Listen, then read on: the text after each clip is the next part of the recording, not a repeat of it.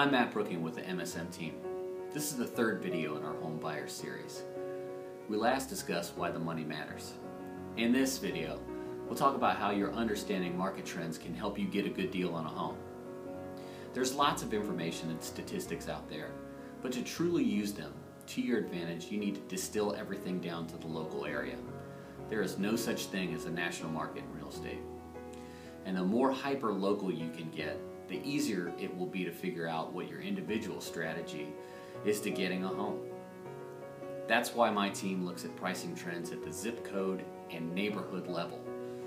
We have the data and resources to educate you on the local market conditions in a target area.